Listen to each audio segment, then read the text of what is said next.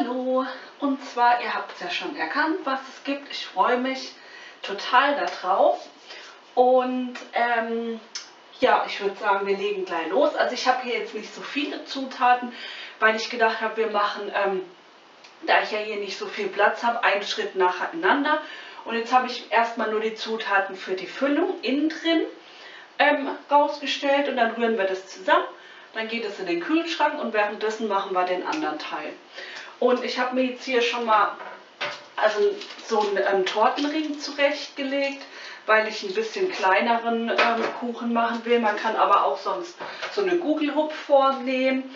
Ähm, aber ich lese euch die Zutaten jetzt einfach mal für einen normal großen Kuchen vor. Ich habe es jetzt extra kleiner gemacht, deswegen habe ich mir da auch ähm, ähm, andere Mengen hingestellt. Aber für so eine normale, sagen wir mal Gugelhupfform, sage ich euch jetzt mal die Zutaten.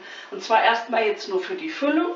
Und zwar da brauch, ähm, braucht man 300 Gramm Frischkäse, also von der Doppelrahmenstufe.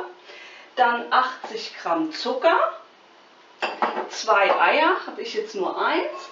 Dann ähm, ein Esslöffel Stärke, da ist mir jetzt aufgefallen, dass ich ähm, auch einen Esslöffel Stärke habe, aber ich brauche ja dann keinen ganzen Esslöffel. Also für, für euch dann ein Esslöffel. So, machen wir nicht zu, zu viel weg, damit es dann auch schön fest wird. So, und dann habe ich mir noch ein bisschen Vanillepaste ähm, äh, nee, ja doch, Vanillepaste habe ich diesmal. Habe ich mir hier noch hingestellt. Ähm, die, ähm, muss, also die muss man nicht reinmachen. Aber ich finde also ich mag den Geschmack ja gern, deswegen mache ich es rein. Also könnt ihr machen, wie ihr mögt. Und ähm, ja, und was halt noch wichtig ist dazu zu sagen, dass ihr ähm, das, das verrührt mit dem ähm, Schneebesen und nicht mit dem Handrührgerät, mit dem elektrischen, weil sonst würde die Masse zu flüssig werden. Das solltet ihr dann auch noch beachten. So, jetzt fangen wir einfach mal an. Und zwar gebe ich als erstes mal den Zucker und das eine Ei zusammen. So. Und das verrühre ich jetzt mal ein bisschen.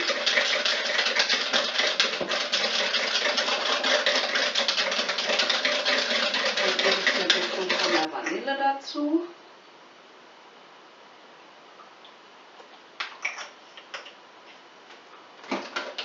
Ja. Und gleich Frischkäse.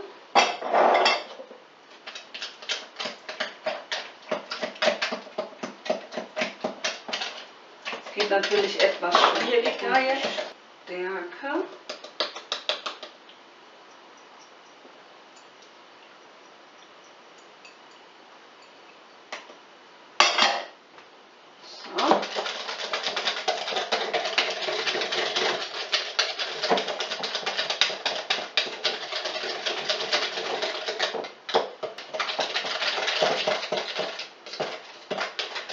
So, und wenn wir das so verrührt haben, ist irgendwas, ich weiß nicht, was das ist. Vielleicht von der Vanille. Ähm, wenn wir das verrührt haben, dann geben wir das so lange einfach, einfach, hoppala, in den Kühlschrank. Und dann kommen wir zum nächsten Schritt. Ich würde sagen, ähm, ah genau, als erstes sage ich euch mal, also ich habe jetzt bei mir die Form, die habe ich noch eingefettet. Das würde ich an eurer Stelle dann auch machen. Und jetzt sage ich euch einfach wieder die Zutaten als erstes. Und zwar, da bräuchtet ihr 125 Gramm weiche Butter, 125 Gramm weichen Zucker, den ich jetzt vergessen habe hinzustellen. So, so, so. Also machen wir das doch noch schnell. Und ich nehme jetzt ja weniger. So, machen wir das mal noch rasch.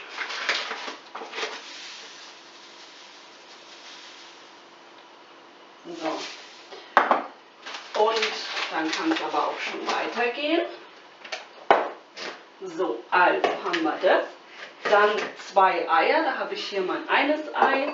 Dann ein Päckchen Vanillezucker, da habe ich jetzt aber, da habe ich ja auch ähm, die Vanillepasta habe ich ja auch selbst gemacht, beziehungsweise auch Vanilleextrakt habe ich ja auch im Video, also falls es jemanden interessiert. Aber da könnt ihr sonst auch Vanillezucker nehmen. Ich nehme jetzt ähm, das. Und dann ähm, 175 Gramm Mehl. Dann eingestrichene Teelöffel ähm, Backpulver, 80 Milliliter Milch, 2 Teelöffel ähm, Backkakao, ähm, den Zucker, den hatten wir schon und 75 Gramm Zartbitterschokolade, die habe ich hier schon am Schmelzen, die ist so gut wie geschmolzen. Und genau den Ofen hatte ich jetzt noch nicht vorgeheizt, aber auch nur aus dem Grund, weil ich ihn gerade eben benutzt hatte schon. Und zwar den könnt ihr nämlich dann auf 150 Grad vorheizen. Kann ich jetzt aber auch anstellen, war jetzt eine Weile aus. So. Und zwar als erstes geben wir mal ähm, den Zucker und die Butter zusammen und verrühren das etwa.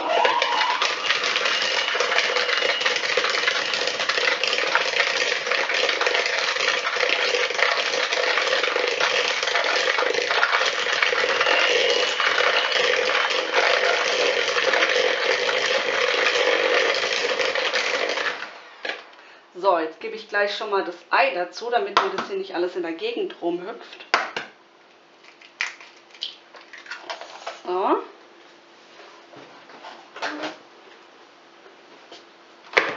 So, und wieder rühren.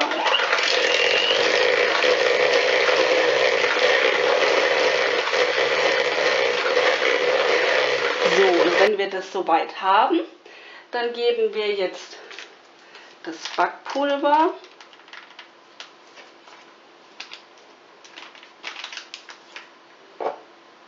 und das Mehl dazu.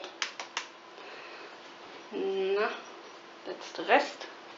So, und wieder verrühren.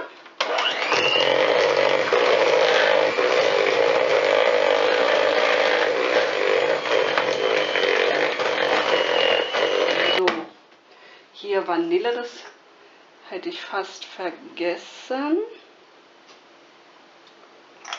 So, und die Hälfte von der Milch. Das ist jetzt bei mir natürlich ganz wenig. So. Nochmal verrühren.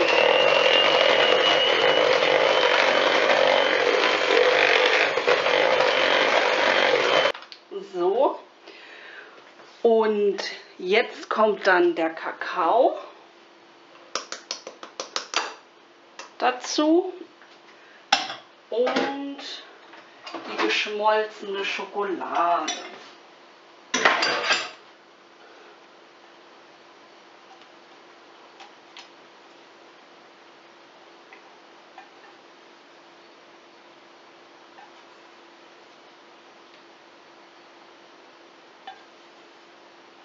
So, und das Ganze nochmal miteinander verrühren.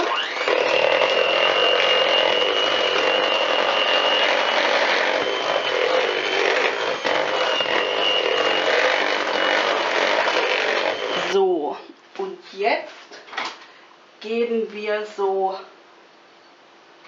den größten Teil einfach hier schon mal in die Form,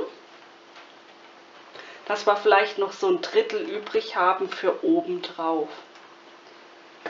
Ungefähr.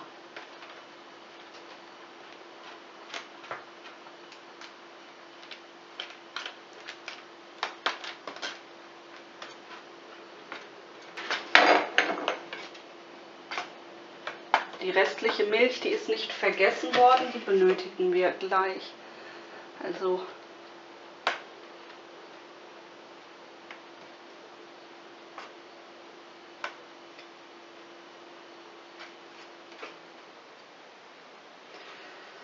So, lasse ich das jetzt mal und gebe die jetzt hier drauf.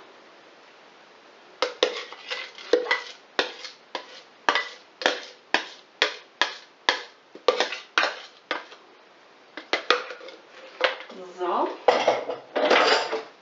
schiebe das mal kurz zur Seite und jetzt muss nämlich, dass der Teig etwas flüssiger wird, die restliche Milch hier dazu. Sonst kann man das nämlich nicht verstreichen. So. Voilà.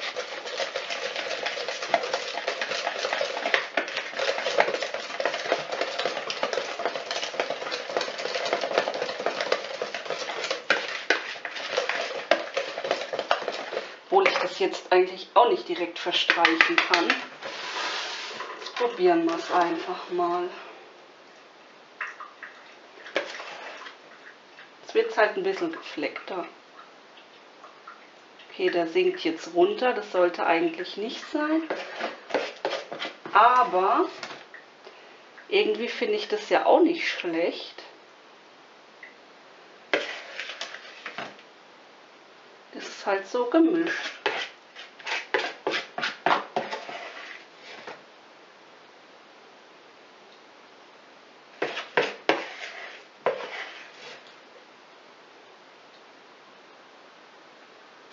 War zwar jetzt nicht so geplant,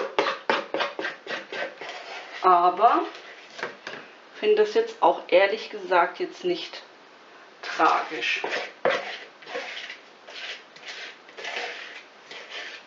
Vielleicht habe ich einfach zu viel gerührt, doch schon in der, äh, mit dem Frischkäse. So. Aber wie gesagt, mir macht es nichts soll ja nur schmecken. Das ist natürlich wichtig. So, und jetzt kommt das Ganze bei 150 Grad eine Stunde lang in den Ofen und dann kommt es noch in den Kühlschrank und erst zum Anschneiden sehen wir uns dann wieder. So, so sieht jetzt der Kuchen aus. Ich habe ihn diesmal noch nicht angeschnitten. Das mache ich jetzt mit euch zusammen. Und zwar, ich habe ihn jetzt noch nicht so lange im Kühlschrank gehabt, deswegen hoffe ich, aber der fühlt sich relativ stabil an.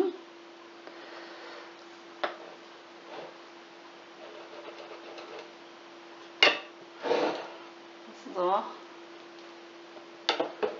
Und zack.